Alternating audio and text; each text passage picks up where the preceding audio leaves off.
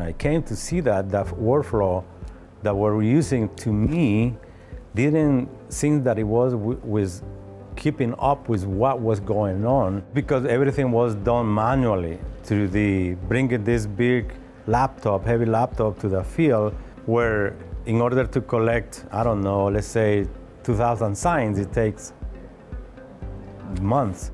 That was the problem, was a lot of kind of inefficiency that can be really uh, enhanced by the new, the new things that, that ESRI is providing these days, period. It's, that was a no-brainer really to think about that. We put in Survey 123 and Spike combination of, of collector, right? So we speeded that up really fast. You know, I'm talking about just sign here, but we, we have about 100 plot asset types.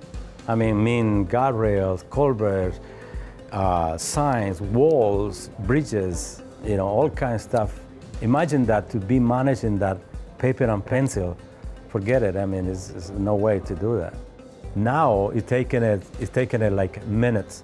They send the data right away to the to the enterprise geodatabase, like in the in an instant, because they have the the capability to do that. It's unbelievable. The difference is from months to minutes.